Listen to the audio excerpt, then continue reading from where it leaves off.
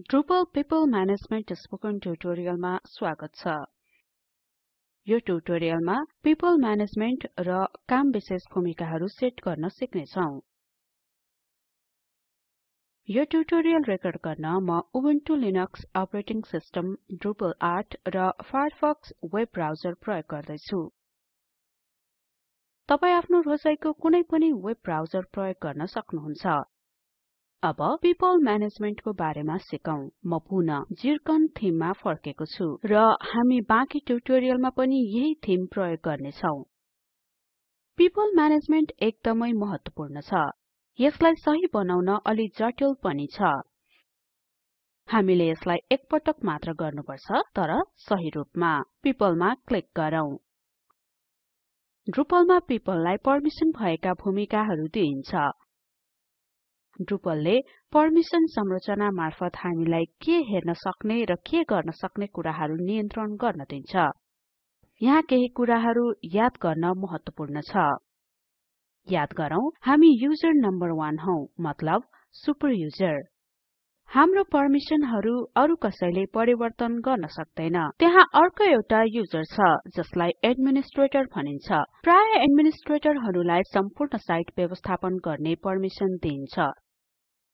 तर तिनीहरू user number 1 सरह हुँदैनन् अथेन्टिकेटेड युजर्स निश्चित अधिकारहरू भएका प्रयोगकर्ता हुन् अन्तमा एनोनिमस युजर्स भनेका लगइन नगरेका आगन्तुकहरू हुन् प्राय एनोनिमस युजर्सले संरक्षण नगरिएका सामग्रीहरू मात्र हेर्न सक्छन् र अरु केही गर्न सक्दैनन् अर्को महत्वपूर्ण कुरा भनेको साइटका निश्चित कार्यहरू अनुसारका भूमिकाहरू सेट गर्ने हो। मानौ हामीसँग ग्रीष्मकालमा एकजना इन्टर्न छ जसलाई इभेन्ट्स मात्र अपडेट गर्न दिइएको छ र अन्य आर्टिकल्स वा पेजेस वा युजर ग्रुप्स छैन। यो ग्रीष्मकालीन इन्टर्नको आफ्नै एउटा भूमिका हुनुपर्छ जसले गर्दा हामी पर्मिसनहरू व्यवस्थापन गर्न सकौं। हामी छिटै त्यो सेट गर्न सिक्ने छौं अहिलेको लागि पर्मिसन्स ट्याबमा क्लिक गरौँ। बिस्तारै तल स्क्रोल गरौँ र उपलब्ध सामग्री हेरौँ। हामीले थपेको प्रत्येक कन्टेन्ट टाइप प्रत्येक मोड्युलको लागि सूची अझ लामो हुन्छ। साथै हामीले बनाएको प्रत्येक भ्यूले पनि सूची लामो बनाउँछ। पिपल म्यानेजमेन्ट भनेको ड्रुपलमा मानिसले के गर्न सक्छन् भन्ने हो। अब हामी एउटा नयाँ भूमिका थप्ने छौं र यसमा केही पर्मिसनहरू दिएर यसलाई जाँच्ने छौं रोल्समा क्लिक गरौँ। यहाँ समर इन्टर्न नामक एउटा नयाँ भूमिका थपौं। सदा चाहिँ ड्रुपलले यसलाई एउटा मानिसको नाम दिन्छ। सेभ क्लिक गरौँ। अहिले हामीसँग समर इन्टर्न नामक एउटा नयाँ भूमिका छ जसको अहिलेसम्म कुनै पर्मिसनहरू छैन। म मेरा भूमिकाहरू क्षमता वा पर्मिसनहरूको क्रममा राख्न चाहन्छु। यसले हामीलाई भूमिकाहरू एउटा तार्किक क्रममा हेर्न दिन्छ। कोसँग के पर्मिसन छ? सेभ अर्डर क्लिक गरौँ। अब हाम्रो नयाँ भूमिकालाई केही पर्मिसनहरू दिउँ। पर्मिसन्स ट्याबमा क्लिक गरौँ। यो पेजमा सबैका पर्मिसनहरूको संक्षिप्त जानकारीहरू रहेका छन्।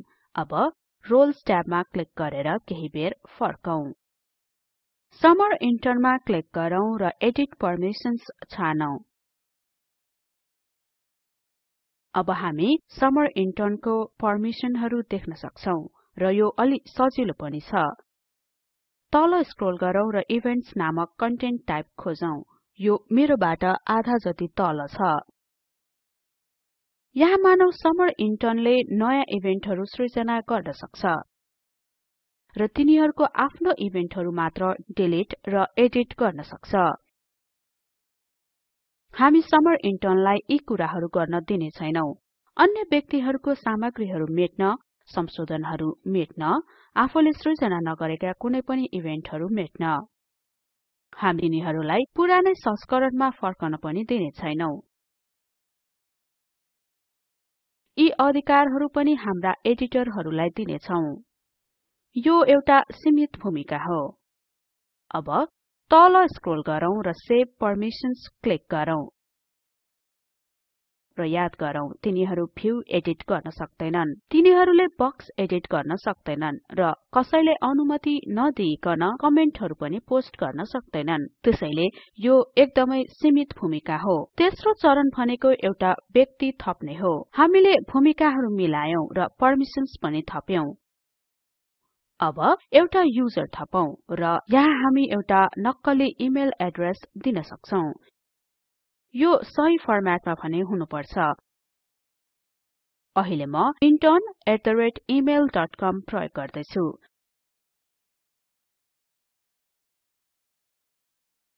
युजरनेममा स्याम टाइप गरौँ। हामी पासवर्डमा पनि स्याम नै प्रयोग गर्नेछौं। यो एकदमै असुरक्षित पासवर्ड हो। तर अहिलेलाई यसले काम गर्छ। हामीले स्टेटसलाई एक्टिभमा बदल्नु पर्छ र उसको भूमिका समर इन्टर्नको हुनेछ। हामी यसमा एउटा फोटो पनि राख्न सक्छौं। अहिलेको लागि हामी पर्सनल कन्ट्याक्ट फर्म बन्द गर्नेछौं किनभने समर इन्टर्नहरूलाई सम्पर्क गर्नु पर्दैन। अन्त्यमा क्रिएट न्यू अकाउन्ट क्लिक गरौँ। यो सन्देशले स्यामको अकाउन्ट सफलतापूर्वक सृजना भएको जनाउँछ। र कुनै इमेल पठाइएको छ। अब हाम्रो सूचीमा हामी स्याम देख्न सक्छौं। जब हामी यसरी नयाँ युजरहरू सेट गर्छौं सबैभन्दा महत्वपूर्ण काम भनेको जाँच गर्नु हो। लगआउट गरौँ र स्यामको रूपमा लगइन गरी जाँचौं। तर समस्या तब हुन्छ जब स्याम एउटा वास्तविक युजर हुनेछ र उसले आफ्नो पासवर्ड बदल्न चाहन्छ। हामी अन्य व्यक्तिहरूको एकाउन्ट जाँच्न जथाभावी तिनीहरूको पासवर्ड बदल्न सक्दैनौं। यो अमर्यादित हुन्छ। drupal.org/project/masquerade मा एउटा उत्कृष्ट मोड्युल छ। मास्करेड मोड्युलले हामीलाई यसले भने अनुसार गर्न दिन्छ मतलब अरु कसैको रूपमा काम गर्न। हामी समर इन्टर्नको रूपमा तिनीहरूको पर्मिसन सही तरिकाले मिलाइएको छ वा छैन जाँच्न सक्छौं। मैले मेरो कम्प्युटरमा मास्करेड मोड्युल इन्स्टल गरिसकेको छु। कृपया तपाई पनि आफ्नो कम्प्युटरमा इन्स्टल गर्नुहोला। तपाई नयाँ मोड्युल इन्स्टल गर्नको लागि एडिङ फंक्शनालिटिज युजिङ मोड्युल्स प्रयोग गर्न सक्नुहुन्छ। तपाईको सुविधाको लागि यो ट्युटोरियलको वेब पेजको कोड फाइल्स लिंकमा मास्करेड मोड्युल उपलब्ध छ। कृपया यसलाई डाउनलोड गरी इन्स्टल गर्नुहोस्। यो इन्स्टल भएपछि हामी लगइन क्षेत्रमा एउटा नयाँ लिंक अन मास्करेड देख्न सक्छौं। मास्करेड प्रयोग गर्न पिपल पेजमा जाउँ। युजर स्याम को एडिट ड्रप डाउनमा क्लिक गरौँ र मास्करेड एज छानौं। हामीले मास्करेडमा स्याम राख्ने बित्तिकै टुलबारहरू हराउने छन् यो किनभने युजर स्यामको भूमिकाहरूमा एडमिनिस्ट्रेटर टुलबारहरू प्रयोग गर्ने पर्मिसन छैन। हामीले एड कन्टेन्टमा क्लिक गरेपछि सृजना गर्न सक्ने एकमात्र वस्तु भनेको एउटा इभेन्ट हो। अहिलेसम्मलाई राम्रै छ। यदि हामीले आवर ड्रुपल म्यानुअलमा क्लिक गरे इन्स्टलिङ ड्रुपल छानेमा हामी एडिट गर्न सक्दैनौं त्यहाँ कुनै ट्याबहरू छैनन्। यदि हामी फोरम्समा गए पनि सोही कुरा लागू हुनेछ। साथै हामी एडिट पनि गर्न सक्दैनौं। हामी एउटा कमेन्ट दिन सक्छौं तर यो स्वत स्वीकृत हुने छैन। फेरि पनि हामी एउटा इभेन्ट क्लिक गर्न सक्छौं तर यसलाई एडिट वा मेट्न सक्दैनौं। हाम्रो पर्मिसनहरू सही भएको देखिन्छ। अब अनमास्करेड लिंकमा क्लिक गरी एडमिनिस्ट्रेटर रोलमा जाउँ। यो सँगै हामी यो ट्युटोरियलको अन्त्यमा आएका छौं। संक्षेपमा हेरौं।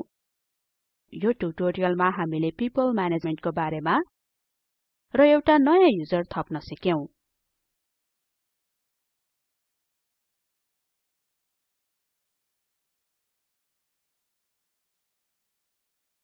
यो भिडियो एक्विया र ओएस ट्रेनिङबाट साभार गरी स्पोकन ट्युटोरियल प्रोजेक्ट आईआईटी बम्बेले संशोधन गरेको हो। तलको लिंकमा उपलब्ध भिडियोले स्पोकन ट्युटोरियल प्रोजेक्टको सार दिन्छ। कृपया डाउनलोड गरी हेर्नुहोस्। स्पोकन ट्युटोरियल प्रोजेक्ट टिमले कार्यशालाहरू सञ्चालन गर्छ र प्रमाणपत्र प्रदान गर्छ। विस्तृत जानकारीको लागि हामीलाई सम्पर्क गर्नुहोस्। स्पोकन ट्युटोरियल प्रोजेक्टलाई एनएमइआइसीटी मानव विकास संसाधन मन्त्रालय र एनभिएलआई संस्कृति मन्त्रालय भारत सरकारको अनुदान रहेको छ। म मन्दिरा थापा बिदा हुदैछु। सहभागिताको लागि धन्यवाद। नमस्कार।